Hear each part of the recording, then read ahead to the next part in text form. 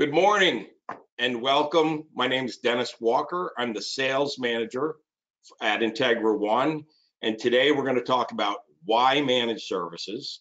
And we are going to try to keep this to the 30 minutes that we said, because I believe most of the people on this call went, I can do 30 minutes. I can't do an hour. So we're going to do our best here. Let's take a look at the agenda for today. So first off, I'm just going to give a high level on on Integra One. So some of you might be familiar with us, with us. Some of you might not be. Uh, then we're going to get into what to look for in a managed service provider, literally questions that you should ask if you're vetting out an MSP. Then we're going to dispel dispel some myths, like MythBusters. Uh, and we had a few questions sent to us prior to this webinar that we're going to address. And then we will open it up to questions that you have. And just a note about that in the chat section, because we can't unmute you, in the chat section as we talk here, if you have a question, just please type it in there and we will address it at the end of this webinar. So Integra One, we don't sell boxes, we sell solutions. Let me clarify that. We do indeed sell boxes. So if you want to buy a box, we can sell it to you. We can talk to you about that. But our differentiator is really in our engineering team and the solutions that we put together for you. So with an engineering team of over 50 full-time certified engineers, every discipline that you see here on the right-hand side of the screen, we have a team that works in that discipline. Our skills run wide and deep, and we don't cross-pollinate. And by that, what I mean is our security team doesn't dabble in data center, and our data center guys don't get involved in technical repair, technical service repairs. So everybody stays in their lane and they're experts in the lane that they're in. We've been around for 32 years. So I always say with that, look, if you've been around 32 years in this industry, an industry that can chew you up and spit you out, you must be doing something right. So we're proud of those 32 years in business. Over that time, we have expanded to five offices across Pennsylvania. And from an industry standpoint, I would argue there's probably not an industry we haven't been in. There might be, but I would argue that we've been in most of them. So you can feel comfortable reaching out to Integra One and know that we have some experience with what you do. Quick mention of an event that we have every year, last year excluded, uh, OneCon fantastic event. It's the end of October, the 19th and 20th. It's in Lancaster, Pennsylvania. It's an opportunity for all of our customers, potential customers, to come out, meet with the manufacturers on site, attend industry relevant breakout sessions. If you're interested in learning more about it, want to sign up and register, you can go to our website at integra1.com. You can talk to the account manager who got you on this call today, but it's a great event, has received tremendous reviews over the years, and we're excited to be looking at and hoping to be doing it again this year. On this call today with me is Joe Consolmagno. So Joe is the head of our managed service operation. Joe's been with us for five and a half years, but he's been in the managed service space for over 10 years. So you couldn't have a better resource to talk to. Joe has seen it all. He knows this industry inside and out. So if you have questions when this is over, you want to talk to somebody, Joe is a great person to to reach out to, and he will be participating more in, in this webinar as we go forward. So let's talk about things to look for when you're vetting a managed service company. And I think it's important that you you look at this as almost like you're interviewing. You guys, you hire an engineer, you're interviewing them, you want to learn about them. This is, you're doing the same thing here in the managed service space. So first and foremost, location. This is probably obvious, right? Why location is important. you want a provider that is in your area, they're close to you, because should something go sideways in your environment and you need an engineer to come on site, you want them to be able to get someone there in a timely manner. So having a local provider is important. Size. This is really more, uh, well, you want an MSP that works with companies and businesses that are your size. So small MSPs can struggle juggling multiple clients and large MSPs might not provide you with the customer service that you require, right? I mean, it's important. We've had these discussions with people already uh, who were not getting the service they wanted to, or the smaller companies couldn't, didn't have the expertise in house. So ask them, what is the size of your client base? Expertise. The in-house engineering expertise should match what your environment looks like. It might not be 100%, right? That would be tough to do, but 75%, they should understand what's in your environment and they should know how to support, troubleshoot, and help you grow that environment. Longevity. So years of experience is critical. You want an MSP who's been around the block and doesn't get surprised by the unexpected.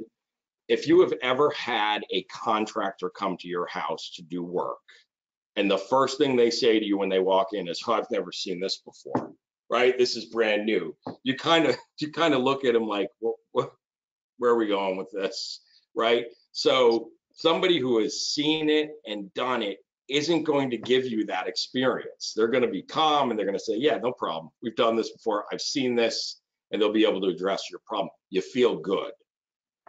And then lastly, access. And this one always surprises me.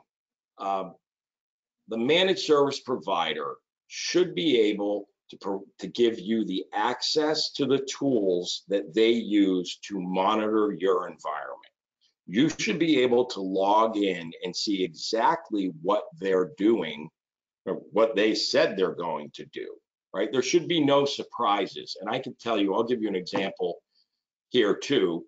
Uh, we had a customer who, who came on board who was paying another managed service provider to patch and keep their servers up to date.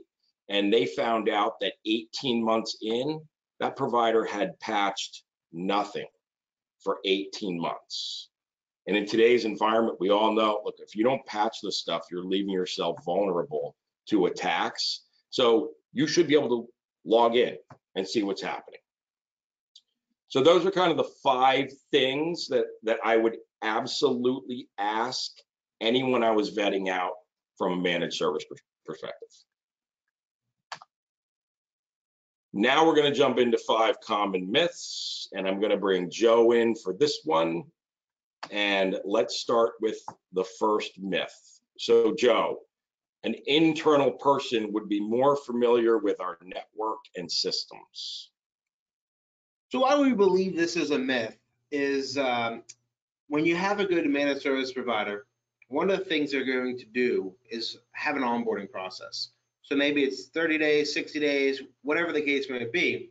And during that onboarding process, they're going to identify key systems, key applications, how users work, etc., so that when they go live supporting your environment, it is a good experience. One of the things that we have invested into, and, and I'm sure other managed service providers have as well, is having a document management system.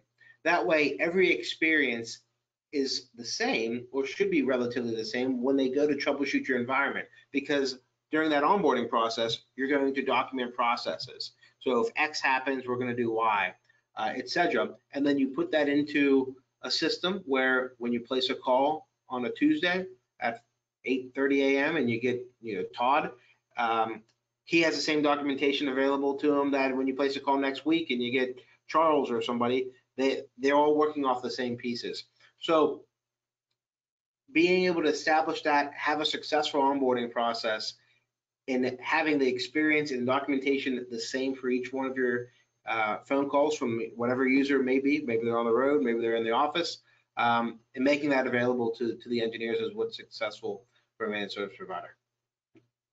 So it's important to find out, how do you guys document my environment? Where does it go? Does everyone have access to it? So there's no learning curve for, there again, someone, an engineer coming out or jumping on the phone and saying, I, I don't know what's happening here. Like if you have to talk to your cable provider.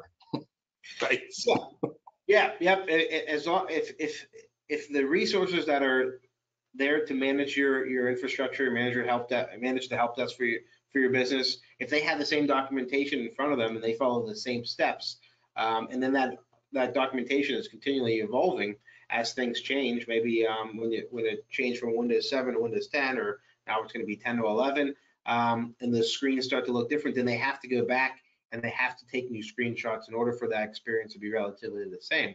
Um, so that that's taking that knowledge and moving it to a provider. They should be be drawing that stuff out and making sure that that they're successful in their deployment of of managed services, help desk, server support, whatever the case may be on your environment.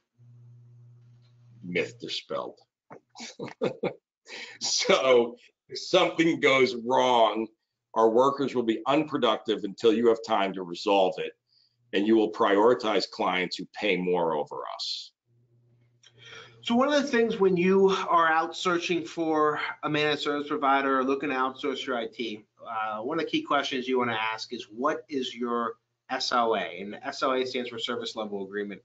And what key indicators of, of a successful MSP are how often are you going to answer the phone within you know, 90 seconds, 60 seconds? 90 seconds is generally what the what the um, the average is um, for how quickly you, you pick up the phone. So we're going to call this number and who's responsible for picking that up? Are we going to get level one, level two, etc. So how we structure it is we all of our help desk engineers they they have to pick up the phone within 90 seconds um, or they're you know they, they've missed their SLA and then we check that on a routine basis you know multiple times throughout the day um, and then we also look take that take a look at that over weeks and months to see if we need to add staff etc. Um, so your provider should be pr- providing those details to you. So when you when you begin to search for managed service providers, you can ask, you know, if you're looking at five of them, six of them, how quickly do you get back the emails and how quickly do you get phone calls, um, back to phone calls, and what is your after hours approach? Maybe they're 24/7, maybe they're business hours, but you need to know what that experience is going to be like.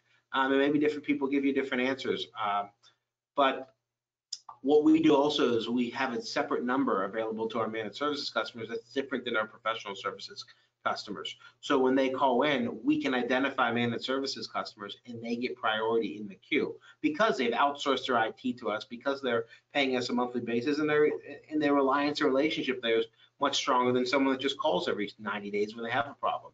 So those are the things you want to identify when you're out searching for providers to make sure that this is not uh, a fact and it is a myth.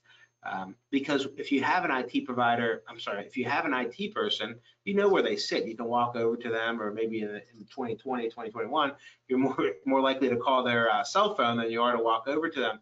But nonetheless, when you when you have that experience internally, you want to replicate that externally um, in an outsourced model in identifying those SLAs and what they're going to commit to you um, is is going to make sure you're successful in this. Cool. So it's SLA based. It is not, you know, contract based. How much you're spending. You got to meet. We have to meet the, the person has Right. to meet. Right, because if you if you have one phone number to call, it's very hard to identify.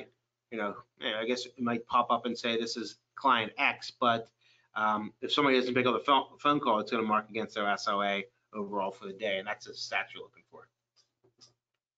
Great. We don't want to lose control over the workings of our company. We're worried this will disrupt continuity in our internal processes. So this is um, a double-edged sword because if you keep things if you, if you keep things working with um, somebody on site and you have an IT person and you just dump all your knowledge over to them, what happens ultimately when they need to retire or if they put their two weeks in and they move on? So if you have that that if you build up this person and they're there for 15, 20 years, um, you know, how long are they going to be with you? I mean, it might be a great relationship, but we we've seen over the course of this summer, more people leave their jobs um, for some of our higher ed customers than ever before. Um, and that sets the, the, you know, maybe the college back or it could set the business back because now you have to go hire somebody. Now you have to make sure you're all, all of the worries that you didn't have for years um, suddenly creep up. Well, how do we order hardware? Uh, um, what do we look for when we order hardware? Um, you know, whatever the case may be, you're, you're now scrambling. Whereas if you begin to think of, hey, I want to have our IT guy here, but I want to give a little bit to to another provider. Um, that way, I have a plan if if they decide they want to move on or, or whatever the case may be. So if you go back to my the, the first myth where we onboarded a customer and we created all the documentation, we knew how to support them successfully. Well, you'll begin to get that. So the discussion should be with uh, with if you have an IT person, hey, we're looking for backup for you. We're looking for you to begin to focus on other things, and let's let these mundane, you know, help desk calls. Let's let the patching happen with Integra because that allows us a scale. It takes things off your plate and allows for continuity here. So A, you can take a vacation, or, or, or B, you don't have to, you know, if you need to take it, to take a morning off to, to go take your kid to school, whatever the case may be, and somebody's you know, buzzing at 8:15 because they can't work, well, they can call Integra and let them deal with it. So I don't necessarily think you're losing control over it. You're actually expanding upon your coverage if you begin to, to go down a model of let's outsource some of what our IT is on on site. Thanks. It's good. We won't be able to build a good relationship with an external engineer. So why we think this is a myth is because if you're working, if you're, if you're, um, when you're out searching for a managed service provider, you should be looking for a cultural fit as well as what they're, what they're going to provide you because there's, there's tons of IT companies out there that offer very similar packages. Um, it's a very, it's a very, you know, large market um, where providers are coming in saying, hey, we can, we can do this. But when you're meeting with managed service providers and you, and you feel like you have a good relationship there, you can probably figure that's taking its taking its going down past to the to the engineers that they're hiring. So to give you an idea, when we hire staff, we, of course we look at what they're capable of on a resume. But the other thing is, is it a cultural fit? Because if it's a cultural fit, then our our customers have been working with us. They've been working with us in the Allentown office, Pittsburgh office for over a decade. We know what to expect from our customers, and, and when I say a decade, I don't mean just Integra uh, as a managed service provider. We know what the what what they expect from us, and and they know what they they know what they're going to get from us as well. So when we interview people, I want to make sure that they can hop into eight different environments in one day. Because think about it, you have a nine-hour day, one-hour break you're probably going to work on eight tickets in one day, or maybe six, maybe nine. Who, who knows? But you're going to you're going to be talking to eight different people in a day. And can we keep that consistent? Can we keep that up? Can we keep can we keep that vibrant um, discussion happening? Um, and that's that's what we're positioning ourselves to when we go and get grab engineers off the street and, and begin to grow our business because you do have engineers that just kind of want to sit back and, and, and sit uh, at a business and you know uh, maybe maybe hide in the corner and such. That's not what we're looking for when we hire people for our help desk because we tell them you're going to have multiple people calling you in one day. As soon as you're done with one ticket, you're going to be working on the next. But the idea there is you're going to see a ton of different environments. You're going to have a great foundation, and you can move out, move throughout Integra One. So we try to promote from within, and when we set that culture, that culture gets gets spread to our clients. So um, you know, having a great relationship with a, with an engineer is, is something that we pride ourselves on. And multiple times, you know, throughout a week, I'll hear from one of our engineers. I spoke to X at this company again, and um, I don't really have too many times where you have one person call in and say, "Hey, I only want to speak to this person." That generally doesn't happen. So what that tells me is, over the course of our 15 or so engineers that are on the help desk, those interactions are happening good and consistently good. Actually, you know what, Joe, we didn't talk about this before, but I'm going to mention it. Um, surveys. So does the managed service provider you you work with or you're thinking about working with, do they interact with your end users? Ask them, how are we doing? Right? Mm-hmm. Can you talk a little bit about so one of the things that we we assign to each one of our managed services accounts is a virtual CIO, and the idea behind the virtual CIO is that they're meeting with our clients on an every 90 day basis, um, and they're seeing okay, what are your goals? What are, what things do you need to plan for? But also, how do you, you know, see the service going w- with with what we're doing? So that's one of the key things that a lot of managed service, services providers have been attributing to accounts over the last, say, 10 years since 2010 or so, is a virtual CIO to sit between the sales team that probably works with you on, on getting quotes and such, and then the service team. They're right there in the middle, and that's who we we plan on getting involved in those types of discussions. On top of that, anytime we close out a ticket, one of our customers, every one of our customers gets a survey, and they can send create that survey and, and send it in. And how's your experience on this ticket? And if it's um, between a one and a three, I automatically get notified. And if it's four or five, it just it sits in there and it's there when we go and look at you know how, each account likes us or so. So um, having those two things in place, um, and you know you can ask your provider if they have a virtual CIO or how do they submit feedback, good or bad. Um, if you have those two things in place, you should be on the right track. Awesome, thanks. And this is the uh, this is the last myth. This is is probably the biggest myth of them all. Um, outsourcing is an all or nothing, and we're not comfortable with all. So, one of the key things that managed service providers have been doing over the last 10 years or so is a la carte offerings. So, you know, when this whole thing started, it was kind of all or nothing, and that's that's a stigma that was attached to it because you're either going to have an IT person on site or, or you're not. And it's kind of evolved over the last number of years that bigger clients are looking to outsource a piece of their business. So, for example, we've worked with hospitals in the past, and when they lose somebody, they'll go, "Hey, that guy was our server guy. We don't have a server guy. We don't know when we're going to get one. We haven't even, we didn't anticipate him leaving. So what are we going to do?" So what we've done is created packages where we just manage the servers, and the the rest of the company, um, the, the rest of the client is responsible for networking and help desk. Um, so we'll monitor the servers, we'll react to the servers, and we'll let you know when a problem's coming up on the servers. And you guys' responsibilities is, is for networking or help desk, or maybe we take on the help desk and somebody at, at the client manages the, server, the servers. So this is becoming more and more common because as IT environments evolve and you continually add in more devices and you continually add in more risk with, with, with what's happening with ransomware and such, it's tough to be on top of everything. So what you can do with providers is generally say, hey, I want to outsource our security to you. It's just too much for us to handle. Or I want to outsource our backup to you. We we struggle with backups because Monday morning that's not what we're thinking about, but it should be what we're thinking about since since if we didn't have one since Friday, we would have gone three or four days without one.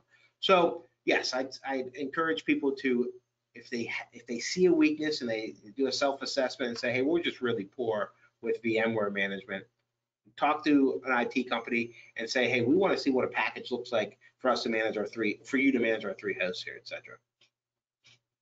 So I brought this other screen up as you were talking, Joe, because this, this kind of breaks down some of the areas that you can consider outsourcing. And I highly encourage, you know, there again, I've had discussions um, with IT managers, you know, IT engineers who said, ah, you know, I think we're okay right now. But the more we talk, the more they realize that, yes, you know what?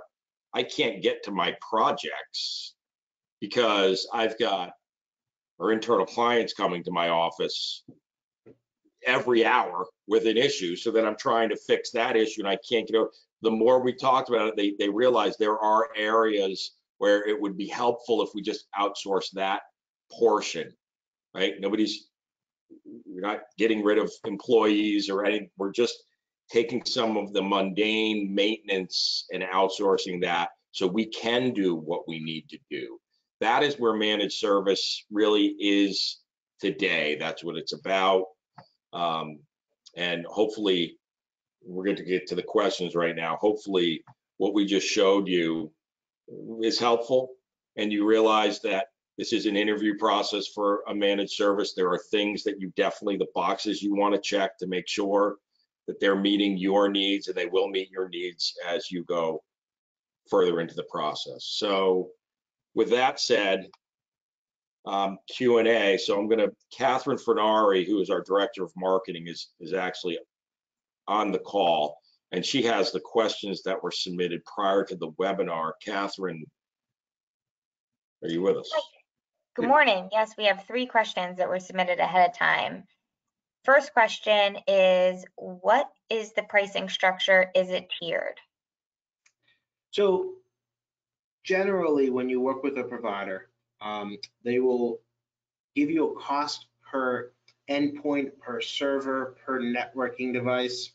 That way, it allows you to begin to scale up. So let's say you go to them and say, hey, we want you to guys to manage our help desk um, and perhaps our servers so that you can say, hey, we have 50 desktops times X. You have four servers times X. That way, if you go and make an acquisition, if you bring on staff, five, 10 people, you know what the cost is to increase your management of those of those new employees, you know, by hiring or acquisition, etc. So, yeah, So you should be getting a, a, a cost per device that's falling under management. And then same thing with backup. If you're managing 10 servers for backup, then here's what your cost is per server. And then if you begin to retire servers, consolidate, add servers, you'll be able to predict that. That's what we that's what we see a lot in the uh, in the in the in the industry for this. Um, and then the other piece of it is tiering. Yeah, generally there there's volume discounting applied um, because not all servers are going to be the, the same. A lot of customers will have you know 40 some servers, but maybe only you know 30 of them or 20 of them are production. Um, so that's when you get into the volume uh, discounting. Um, and if you want to uh, have a longer discussion about that, um, at least from the Integra One perspective, feel free to reach out to account manager and say, hey, I have you know, 100 servers and this is what I want you guys to manage, and then we can begin to identify those and, and put a cost to each one of them. The next question is, what is the size of your MSP resource pool? So Integra One has 60 some odd engineers at this point. Um, and we're actively, if you see our website, looking to hire more. So if anybody has any resumes, feel free to, to send them in. But where we sit as far as resources that are available to work on a managed services customer is there is there's nothing there that that stops the practice managers or such from from working on um, working on customers uh, needs. Now with managed services customers when i identify them or i build a contract i take into account is is how how tough is this customer going to be to manage? Is it do i have that in my general managed services group of you know 15 or so guys? Or am i going to need to grab one of the guys from the cisco practice or the hp practice because they have something that perhaps I don't have that expertise, and I'll factor that in, um, and I'll put that in the contract. Or say, hey, we have, um, you guys have, um, it's called FortiAuthenticator, and that has to go to a security engineer, and we're going to plan on that happening every 90 days for a review or such. Um, so we'll, I'll factor that in, um, and I don't draw, we don't draw any line between this is only a managed services customer, so only managed services guys can work on that. That's not the case. So you, what you're, what you're getting here is about 60 engineers, um, varying skill sets that are available to work on stuff for you at any point. Great. The final question is, can you give more information about managed security? What's included? So what we have as far as our managed security practice is we identify that the, the key things that our customers are coming to, to, to us for is A, I need to meet a cybersecurity, I'm sorry, a cyber insurance or uh, a compliance need. Um, and generally those are, is somebody reviewing these logs and are you retaining your logs for X amount of time? It's generally a year. That way, if something happened last May, you're able to go back and, and, and, get those logs. You don't get that from a backup. You need to, I'm sorry, you don't get that from just backup your servers. You need to capture logs that are happening on your network. So we'll capture the logs for X amount of time, and then reviewing the logs, we can put an SLA and say, hey, all logs are monitored, I'm sorry, all logs are reviewed within X amount of time. Um, so generally that's that's as real time as every 30 minutes because what you're what you're looking for when an attack happens, generally that person that is applying that attack to your network, whether it be ransomware or locking up your servers or turning backups off, whatever the case may be, they're on there for uh, probably a couple weeks. So when we're reviewing the logs, we're looking for things that are indicative of an attack. And what's indicative of attack? Well, maybe at 2 a.m., a domain admin was created and added to AD. Well, that's generally not how the, the, the customer works that's probably something that, that we need to look into, and we'll look into that within 30 minutes. Is what we tied to the to the SLA on a on reviewing logs. So the key thing for a managed security is gathering the logs in order to recreate something that may have happened and how quickly can you review those logs? And, and that's what we provide to our clients.